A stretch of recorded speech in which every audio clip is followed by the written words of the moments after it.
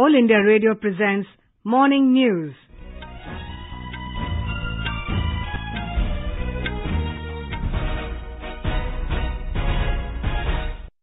Good morning. I am Lalema Aneja Dang and with me is Sarabjit Kaur. The headlines. First phase of nationwide unlock with relaxations in several activities begins today. Prime Minister Narendra Modi urges people not to lower guard in their fight against COVID-19. Railways to run 200 special trains across the country from today. Second phase of Operation Samudra Setu begins. INS Jal Shava to evacuate 700 Indians from Colombo this evening. 14 special flights to bring home more than 2,000 Indian nationals from Gulf countries under the Vande Bharat mission. And Met Department warns of a cyclone in coastal Maharashtra and Gujarat.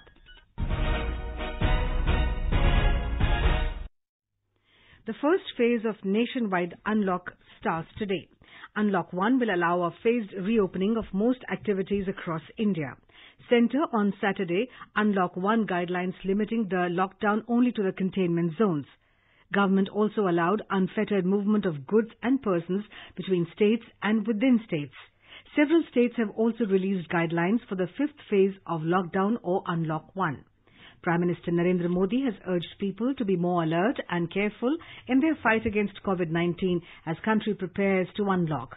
In his Mann Ki Baat program, Mr. Modi said, becoming careless or lackadaisical cannot be an option. He said, as economic activities have resumed, social distancing has become even more important now. Prime Minister said there should be no laxity and people should maintain do gaj ki duri, wear face masks and stay at home to the extent possible. इस बार बहुत कुछ खुल चुका है। श्रमिक special ट्रेनें चल रही हैं। अन्य स्पेशल ट्रेनें भी शुरू हो गई हैं। तमाम सावधानियों के साथ हवाई जहाज़ उड़ने लगे हैं। धीरे धीरे उद्योग भी चलना शुरू हुआ है। यानी अर्थव्यवस्था का एक बड़ा हिस्सा अब चल पड़ा है, खुल गया है। ऐसे में हमें और ज़्यादा सतर्क रहने की आवश्यकता है। दो गज की दूरी का नियम हो मुँह पर मास्क लगाने की बात हो हो सके तो वहाँ तक घर में रहना हो ये सारी बातों का पालन उसमें जरा भी ढिलाई नहीं बरतनी चाहिए The Prime Minister said, after so many hardships, the country's deft handling of the situation should not go in vain.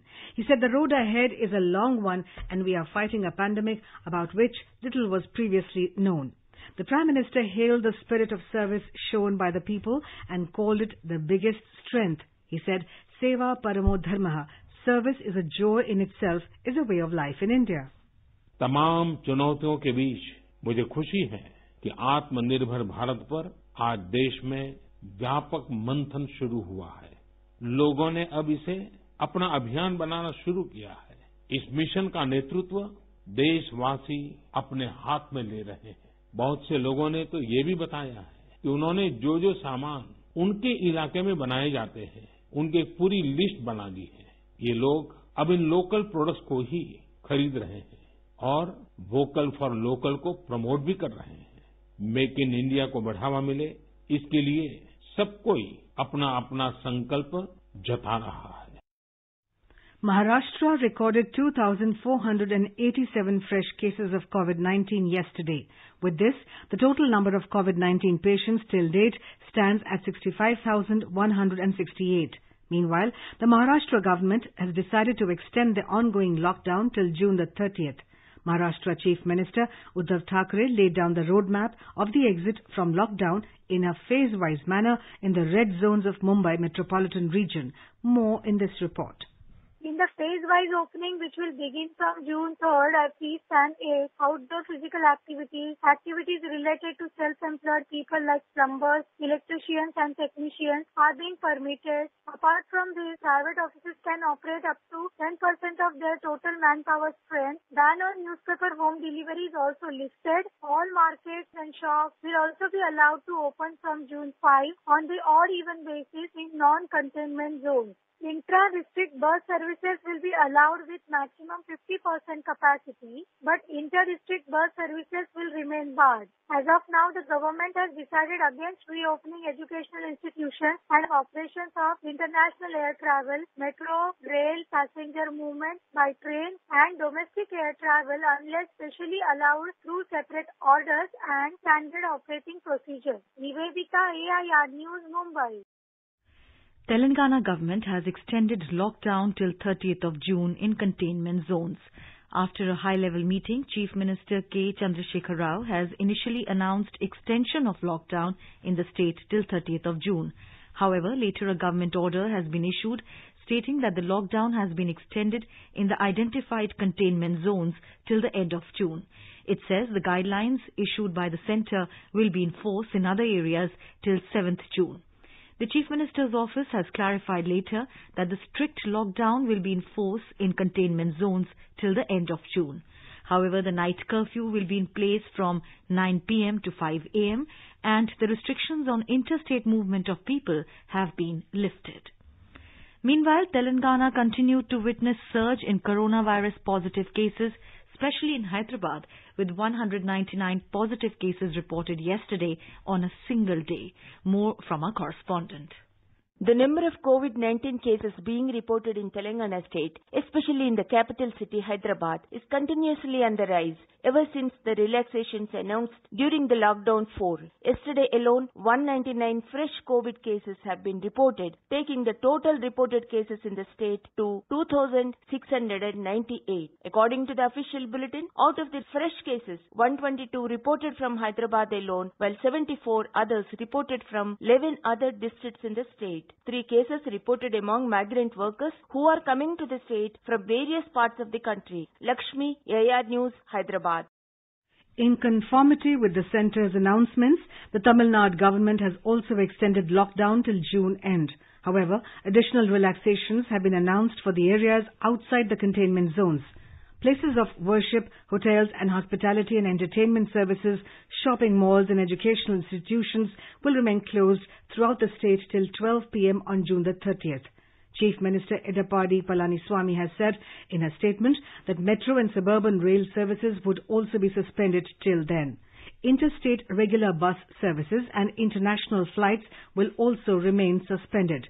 Meanwhile, Tamil Nadu has recorded the steepest ever single day spike in COVID-19 yesterday.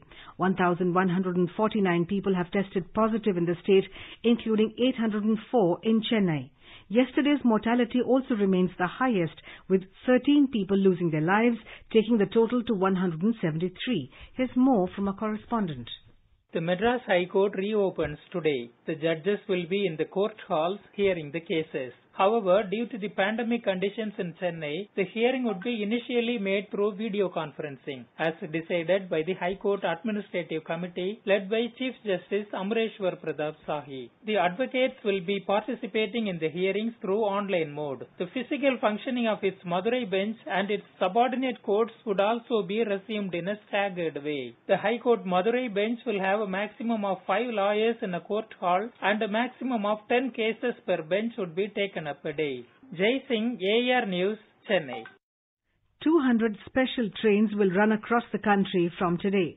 These services will be in addition to Shramik special trains and 30 special AC trains. Railway Ministry said more than 1,45,000 passengers will travel on day one. Around 26 lakh passengers have booked their tickets for advance reservation period 1st to 30th June. These trains are fully reserved trains having both AC and non-AC classes. General coaches have reserved sitting accommodation. Our correspondent reports that there will be no unreserved coach in the train. The passengers will have to reach the station 90 minutes in advance to facilitate thermal screening at the station. All passengers will be screened and only asymptomatic passengers will be allowed to board the train. Only passengers with confirmed and RAC tickets will be allowed to enter the railway station and board the train. All passengers will have to wear face masks and observe social distancing during travel. On arrival at their destination, the traveling passengers will adhere to such health protocols as are prescribed by the destination state and union territories. No linen, blankets and curtains will be provided inside the train. Use of Arogya Setu app will be mandatory for all passengers. With Dipendra Anand Kumar, AIR News, Delhi. Online booking of tickets for these trains is being done through IRCTC website or through mobile app. Railways has also allowed booking of reservation tickets through the reservation counters, common service centres and ticketing agents. Booking of Tatkal ticket can be done from 29 June or journey date 30th June and onwards. Health Ministry has said that the recovery rate of patients from COVID-19 infection has now gone up to 47.76%. In the last 24 hours, 4,614 patients were found cured. A cumulative total of around 87,000 people have been cured so far. The ministry said the government has taken several steps along with the states and union territories for prevention, containment and management of COVID-19. These are being regularly reviewed and monitored at the highest level. The number of cases under active medical supervision is around 90,000. News Services Division of All India Radio in its bilingual live phone-in program held a special discussion program on COVID-19. Participating in the program, Dr. Raman R. Gangakhedkar, Head Scientist, Epidemiology and Communicable Diseases Division, ICMR, said after the relaxations in lockdown, everyone will have to be more cautious while returning to their normal life. हर लोगों ने दिमाग में ये डाल लेना है सरकार ने ढील दी ये समझ के ढील दी है कि जो आदमी बाहर निकलेगा वो सारे एहतियात बरतेगा अभी भी कोरोना वायरस तो गया नहीं है हर इंसान ने ये सोचना है, अगर समाज में ये फैलने नहीं देना है बीमारी तो हमको खुद को मास्क पहन के बाहर निकलना पड़ेगा, दो गज की दूरी रखना पड़ेगा अपने सेहत का ख्याल रखने के लिए अपने हाथ और मुँह दोनों का संबंध जितना हो सके उतना टालना है और हाथ साफ़ करते रहना है Dr. Raman Gangakhedkar said, all efforts are being made to develop a vaccine in a short period of time. आमतौर पे जब हम वैक्सीन की खोज किया करते थे तो तकरीबन 10 से 15 साल लगते थे अभी इतना टाइम तो हमारे पास है नहीं तो वो कम करके वो तकरीबन डेढ़ साल तक करने की कोशिश सब तरफ़ चल रही है कोई वैक्सीन की खोज होए The News Services Division of All India Radio in its bilingual live phone-in program will bring you a special discussion on program on COVID-19. Dr. Naresh Gupta, senior physician from Maulana Azad Medical College, will participate in the discussion. Listeners can ask questions to the experts on toll-free telephone number 1800-115767. You may also ask questions on telephone number 011-2331-4444 and post queries on our Twitter handle at AIR News Alerts by hashtag AskAIR. Commerce and Industry Minister Piyush Goyal has said that pharmaceutical industry has an important role to play in Atmanirbhar Bharat. Interacting with the leaders in the pharmaceutical industry and office bearers of the Pharma Association through the video conference, Mr. Goyal lauded the pharma industry for making India proud by rising to the occasion during the COVID crisis. He said that India has been recognized as the pharmacy of the world as over 120 countries got some essential medicines during the last two months. He said the whole world appreciated India's gesture and this has swelled India's goodwill and reputation. The minister assured them that the government will fully support the industry's expansion, diversification and strengthening. You are listening to the morning news on All India Radio. A reminder of the headlines before we move on. First phase of nationwide unlock with relaxations in several activities begins today. Prime Minister Narendra Modi urges people not to lower guard in their fight against COVID-19. Railways to run 200 special trains across the country from today. Second phase of Operation Samudra Setu begins. INS Jalashwa to evacuate 700 Indians from Colombo this evening.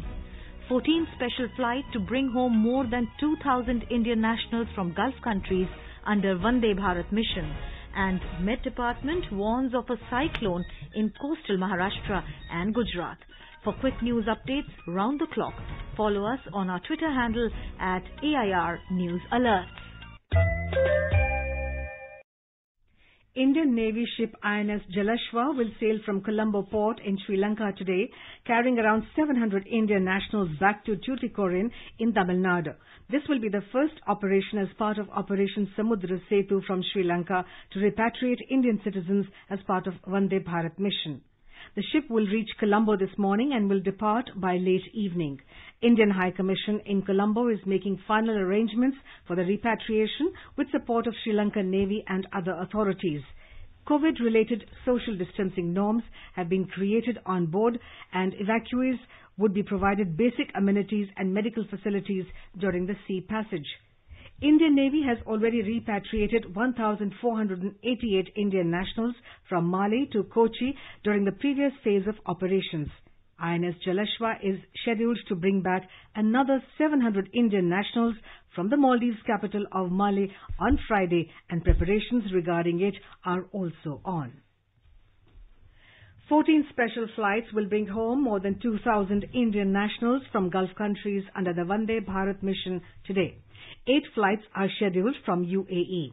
Six flights will take off from Dubai to Kochi, Kannur, Kozhikode, Thiruvananthapuram, Goa and Gaya. Two flights are scheduled from Abu Dhabi, one to Kochi and the other to Kannur. From Saudi Arabia, there are two flights, Riyadh to Lucknow and Dammam to Gaya via Delhi. Kuwait has one flight for Thiruvananthapuram and Bahrain has one flight to Kochi. Muscat has two flights to Kozhikode and Kannur. Yesterday, approximately 2,500 stranded Indians were brought home by special flights from the Gulf countries. Priority is being given to distressed workers, stranded tourists, pregnant women, medical emergency cases and senior citizens. Ahead of his virtual meeting with Prime Minister Narendra Modi on Thursday, Australian Prime Minister Scott Morrison has shared pictures of samosas, saying he would have liked to share the popular snack with Mr. Modi. Replying to Mr. Morrison on Twitter, Prime Minister Modi said, the two countries are connected by the Indian Ocean, united by the Indian samosa. He said once we achieve a decisive victory against COVID-19, we will enjoy the samosas together. Mr. Modi said he is looking forward to the video meet on the 4th of June. Prime Minister Narendra Modi will launch the Silver Jubilee celebrations of Rajiv Gandhi University of Health Sciences today. The Bengaluru-based medical university has completed 25 years of its formation and Prime Minister will take part in the celebrations through video conferencing. Karnataka Medical Education Minister Dr. K. Sudhakar said that the university is working towards realizing the dream of Prime Minister to make country self-sufficient in combating the COVID-19 pandemic. He further added that 2.5 lakh students and 23,000 teaching faculties of the Health Sciences University have joined the battle against coronavirus. As part of the inauguration, the university has organized two endowment lectures on the impact of COVID-19. Uttar Pradesh has become the first state in the country to prepare 1 lakh beds for COVID-19 patients, with each of the 75 districts having dedicated beds for patients in their respective facilities. The beds in the hospitals are classified into three categories, level 1, level 2 and level 3. While level 1 and 2 beds are for patients exhibiting mild symptoms, level 3 beds are meant for graver infections. Our correspondent has the details. The hospitals catering to level 1 patients will have facilities for oxygen support. Those catering to level 2 patients will have a few ventilators in addition to oxygen support. And level 3 hospitals will have ventilator support as well as ICU facilities for the patients besides having provisions for dialysis. Chief Minister Yogi Adityanath has already ordered setting up of testing labs in each of the 75 districts and increase the daily number of tests to 20,000 a day in June month. Sushil Tiwari, AIR News, Lucknow.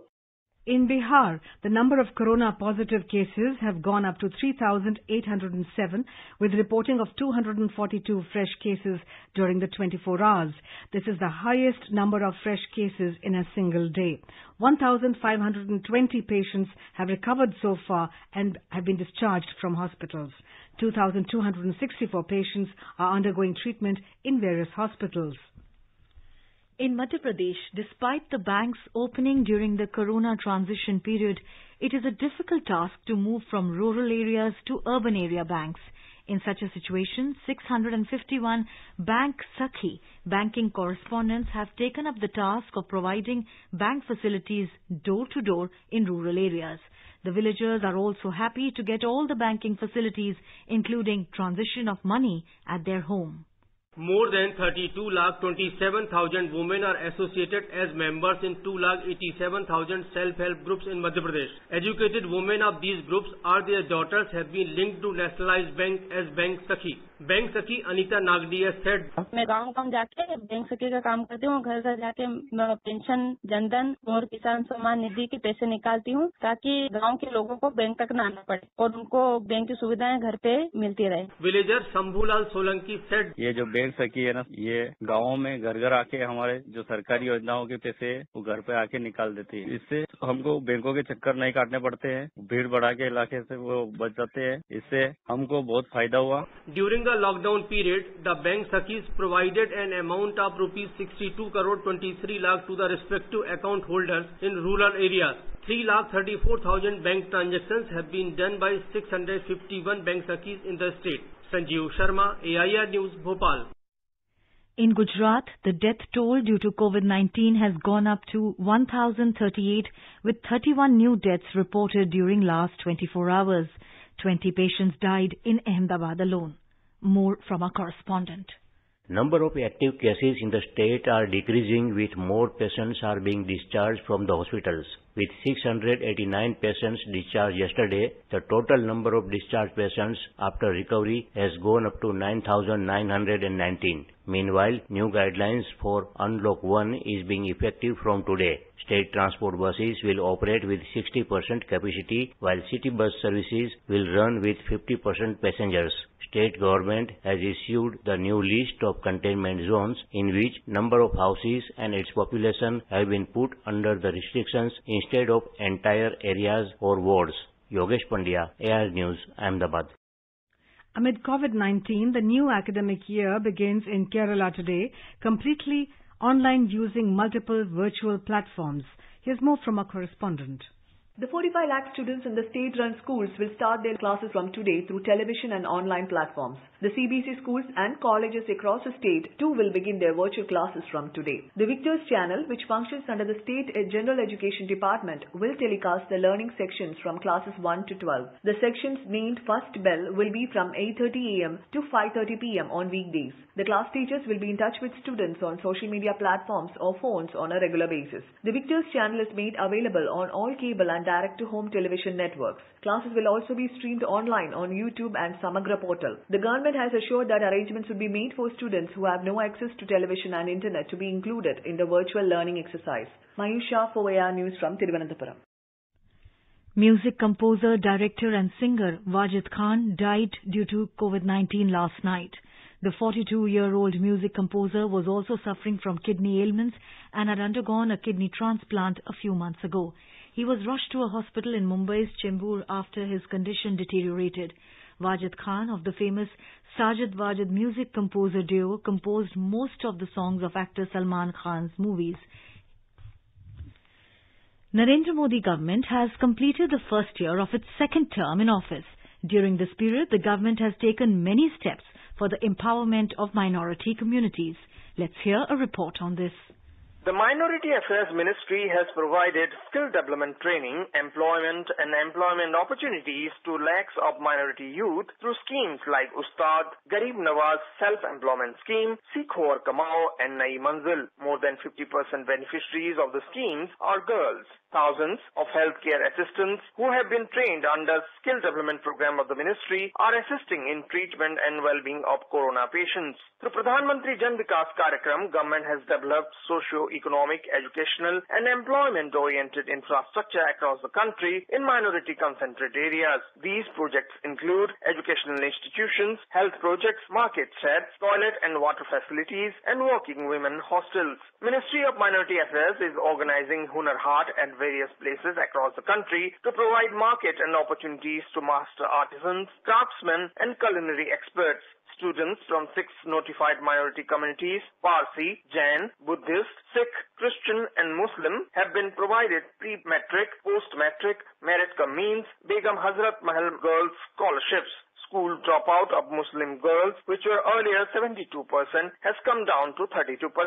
Geotagging and digitization of Waqf properties across the country has ensured utilization of it for welfare of the society. Anupam Mish, AIR News, Delhi.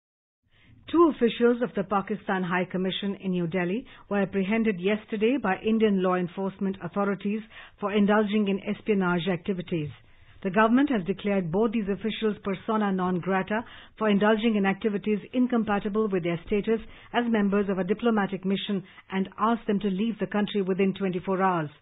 In a statement, the Ministry of External Affairs said Pakistan's charge d'affaires was issued a démarche in which a strong protest was lodged with regard to the activities of these officials of the High Commission of Pakistan against India's national security. India Meteorological Department has issued a red color coded warning to coastal Maharashtra and Gujarat for June the 4th in view of a cyclonic storm in the Arabian Sea. Fishermen who have ventured into the Arabian Sea along the north and south Gujarat coasts have been advised to return and not go out till June the 4th. IMD's Cyclone Warning Division said a low pressure is currently over East Central Arabian Sea and the Lakshadweep Islands. It is likely to intensify into a depression in the next 12 hours and a cyclonic circulation in the next 24 hours. A low pressure area is the first stage of any cyclone. The IMD has four color coded warnings as per the intensity of any weather system green, yellow, orange, and the last one being red. And now let's take a look at the weather forecast for today. The national capital Delhi will witness minimum temperature of 21 degrees Celsius and maximum 38 with generally cloudy sky and light rain or drizzle. Mumbai will witness generally partly cloudy sky. The maximum temperature will be around 35 degrees Celsius while minimum will be around 29. In the south, Chennai will see a partly cloudy sky. The temperature will hover between 29 and 39 degrees Celsius. Kolkata will also witness generally cloudy sky with one or two spells of rain or thunder showers. Onto the north, in the Union Territory of Jammu and Kashmir, the minimum temperature was 22 degrees Celsius in Jammu, while maximum will be around 35. In Srinagar, the minimum temperature was 12 degrees Celsius, while maximum will be around 22 degrees. In Gilgit, the temperature will hover between 15 and 24 degrees Celsius. The region will have thunderstorm with rain. In Muzaffarabad, there will be partly cloudy sky becoming generally cloudy towards afternoon or evening or night.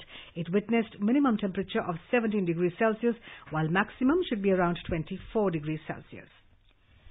SpaceX Dragon spacecraft with two NASA astronauts successfully docked with the International Space Station last night after a historic launch from the Kennedy Space Center in Florida. It has marked the dawn of a new age in commercial space travel. Elon Musk's SpaceX company confirmed the successful docking of NASA astronauts Bob Behnken and Doug Hurley with the ISS, the orbiting laboratory, after traveling 19 hours. NASA Administrator Jim Bridenstine called the station from the space agency's Mission Control Center in Houston, Texas. Bridenstine said, We are so, so proud of everything you've done for our country and, in fact, to inspire the world. And now let's take an overview of today's newspapers. Let's not be complacent. Long battle ahead, Modi, is the Hindustan Times headline quoting the Indian PM on COVID pandemic in its Mann Ki Baat broadcast yesterday. The Indian Express quotes US President Donald Trump as saying that G7 is very outdated now and he would like India, Australia, South Korea and Russia to be a part of G10 and G11. Nepal tables bill to alter map amid row, opposition on board, government set to amend constitution to claim key areas is the Tribune headline. The pioneer quotes the WHO as saying that mothers with small infants should continue to breastfeed even if they are themselves affected by COVID-19. Most newspapers have reported the death of the noted architect Pradeep Sachdeva, aged 62, an IIT Roorkee alumnus. He would often use local construction materials and techniques to create something extraordinary. Dilli Haat, Garden of Five Senses in Delhi, were some of his well-known buildings. And now, before we end the bulletin, the headlines once again. First phase of nationwide unlock with relaxations in several activities begins today. Prime Minister Narendra Modi urges people not to lower guard in their fight against COVID-19. Railways to run 200 special trains across the country from today. Second phase of Operation Samudra Setu begins. INS Jalashwa to evacuate 700 Indians from Colombo this evening. 14 special flights to bring home more than 2,000 Indian nationals from the Gulf countries under the Vande Bharat mission. And Met Department warns of a cyclone in the coastal in coastal Maharashtra and Gujarat. And with that, we end the morning news. Have a nice day.